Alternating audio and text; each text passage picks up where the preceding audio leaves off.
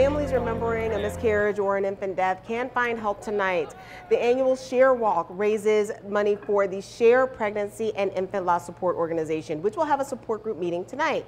Grieving families meet at the agency's headquarters in St. Charles every second Tuesday. The meeting is from 7 to 9 p.m. tonight at 704 Jackson Street. Learn more on the Share Facebook page at National Share. That's just one of many organizations getting help from the Taste of St. Charles. We have Brittany Smith, she's co-chair of the Taste of St. Charles. But first, let's start with Chef Steve Karanianis. That's perfect. Ah, got it. Owner of Spiro's you, Restaurant. You say it like we say it. Hey, that, that's my goal. That is my goal. I cannot be up here slaughtering people's names, especially when they're kind enough to bring us a piece of meat like that. Are you about to set something on fire? Uh huh. Let's do it. Here Let's it do it. Here All right, it comes. Ready? ready? Yeah. I love it. That's Bulleit Rye whiskey.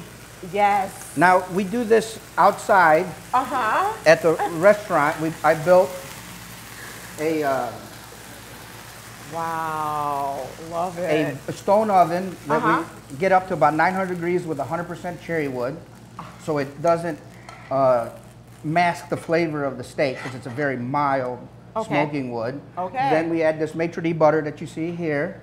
Uh -huh. And this is what it looks like before we put it out. Okay. It's a one pound uh, New York strip steak. This is this, this is a serving for someone. Yes. Wow. Okay. And then when it comes out of the oven, mm -hmm. so first we, we cook the steak entirely in the oven yeah. in a cast iron. Brittany, are you looking at this knife?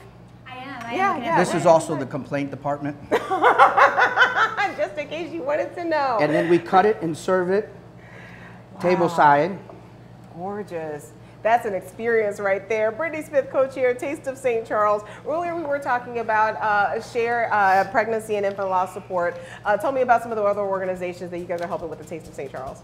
Well, we, um, this year we're helping the Child Center, mm -hmm. which is a not-for-profit. Um, they do forensic interviews -huh. for children who have been witnesses or victims of crime, wow. so it's a very okay. important charity.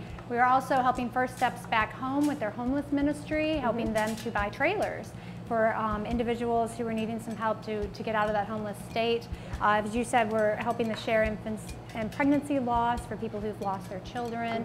Um, and we are also contributing to the Rotary Foundation, which mm -hmm. is mm-hmm. working toward the global eradication of polio. Wow, so you guys are going to be definitely uh, very, very busy at the Taste. So yes. I take it you guys are going to need food too, right? Oh, we yeah. are, yes, yes. I mean, you guys are gonna be so busy. You guys need food too. So Absolutely. we have this beautiful serving so far. What is that gorgeousness over there? Because and I had to tell Brittany to back up from that. She's gonna eat the whole. Thing. Is it gonna catch fire? no, I'm not, fire. I'm not gonna set this one on fire oh, because, yeah. because I'm, I did, but um, that, the liquor that I put in here with mm -hmm. the mm-hmm. bourbon rye because it helps with the flavor. Okay. It doesn't mask it; it complements it. And I found that with the uh, lobster stock that I have in my clam bake that we mm -hmm. do in mm-hmm. that same wood oven, I put sherry, a nice good quality oh. sherry in there, and we toss that and flame that table side as well. And we put that. Are you gonna flame it? No, I'm not oh, gonna flame man, it. See, we, had, we had Justin ready to turn I did off one lights. flame that worked out perfect. Last that's time where I let's almost, not. It, it, that's not going. That's not. You know, Maryland Heights Fire is already, you know, at the truck light. Um, uh, uh, Brittany, when you look at the caliber of restaurants that are coming through, I mean, first of all, Spiro's is legendary, but we see why. We you think about the caliber of chefs and owners that have stepped up, how does that make you feel as you help these families? Well, it is. It's just wonderful. Something that a lot of people don't know is that 100% of the proceeds from the Taste of St. Charles goes to local charities and the Rotary Foundation. That is actually something I myself didn't even know mm -hmm. until I started participating in Rotary. But the more people who come and enjoy the over 30 restaurants, breweries, um, microbreweries, and wineries, more people who come and pay, the more yeah. profit the Rotary makes to distribute on to those charities. That's right. That's right. All right, everybody. So listen, you guys can help families, but you can also get fed too. We'll fuel you up. The Taste of St. Charles, sponsored by the Rotary Club, will be at the St. Charles Convention Center November 16th from 6 until 9. Now that's a happy hour. One Convention Center Plaza. Visit tasteofstcharles.com to see if your favorite restaurant is on the list or to discover a new favorite.